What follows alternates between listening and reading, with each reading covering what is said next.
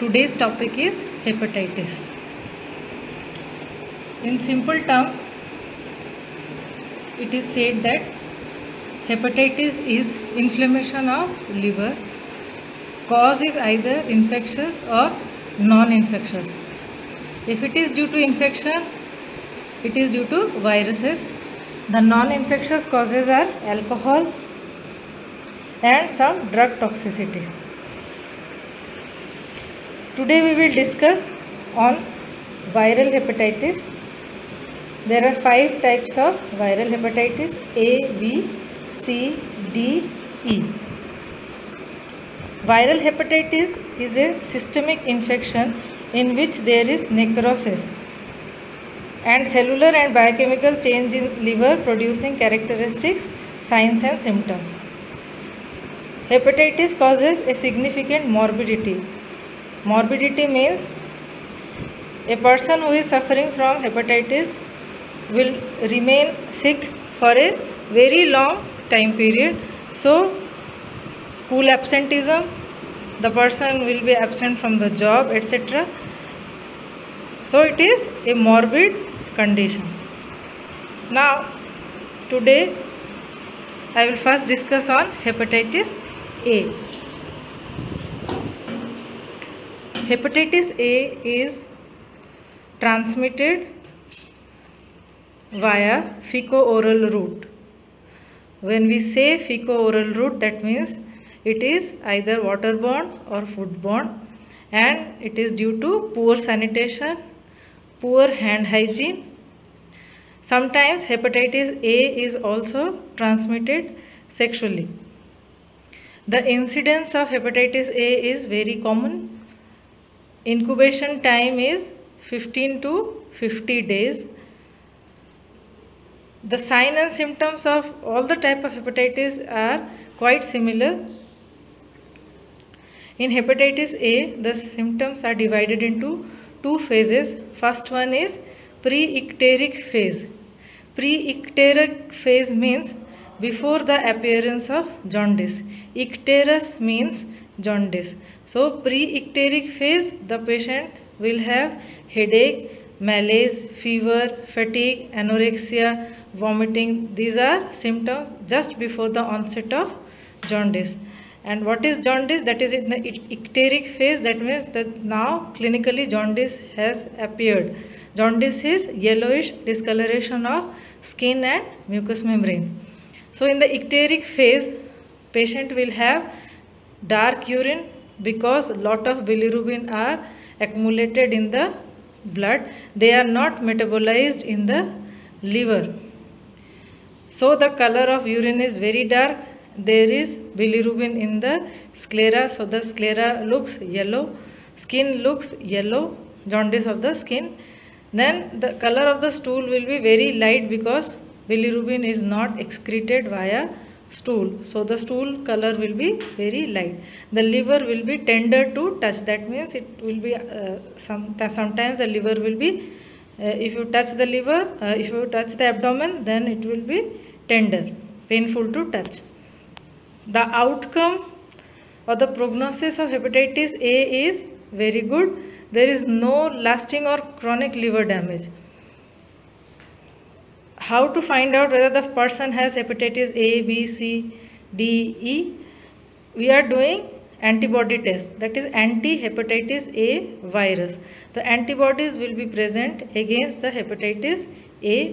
The IgM antibody are the first antibodies which are present after infection. So in any acute uh, condition, acute infection, IgM antibodies will be present. If we are doing liver function test, there will be jaundice that means increased amount of bilirubin. Also the liver enzymes will be high. Liver enzymes are high when there is injury to the liver. The specific liver enzymes are ALT and AST which will remain high. The management of hepatitis A infection. It is recommended that the infants and small children should be vaccinated. Even vaccination is also recommended for the travelers who are traveling to various nations or developing countries where the water and food safety is a, big issue. Next prevention part is we have to maintain water and food safety that means at community level water and food safety should be taken care of. There should be cleanliness.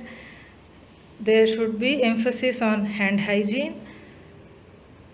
Now when a person suffer is suffering from acute infection hepatitis a infection there is anorexia. So the person is advised for small frequent feeding. We have to maintain the fluid balance. Then the diet it should be easily digestible should have less oil but should have adequate calorie so that to prevent weight loss.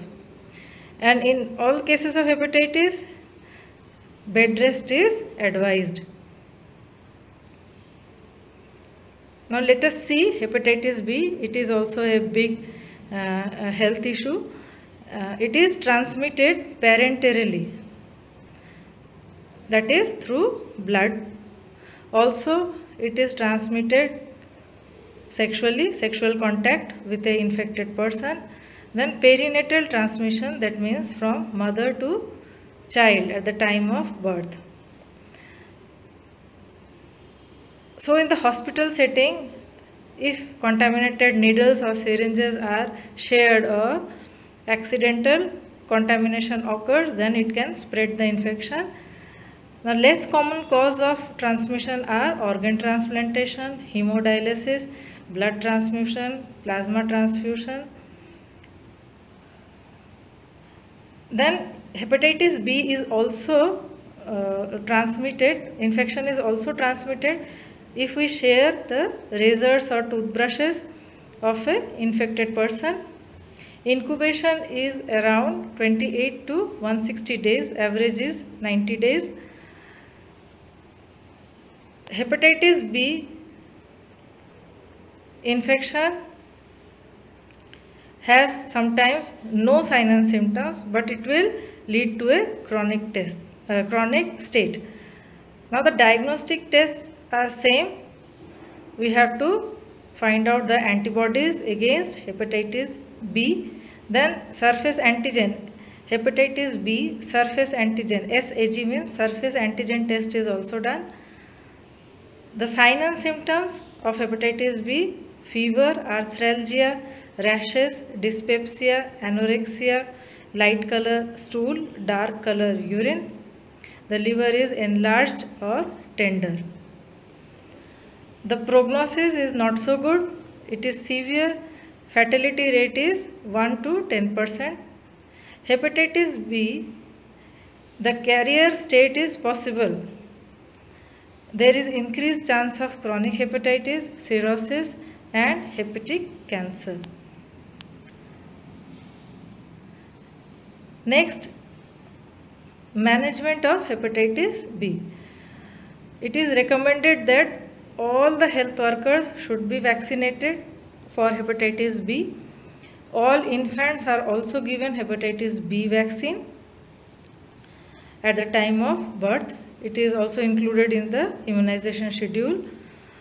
Then in the hospital, we should prevent transmission by screening the blood donor, use of disposable syringe, even proper disposal of needles and syringes.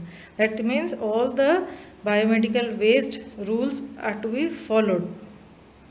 So all the universal and standard precautions are to be followed to prevent transmission of hepatitis B infection. So this is all about hepatitis. Thank you students.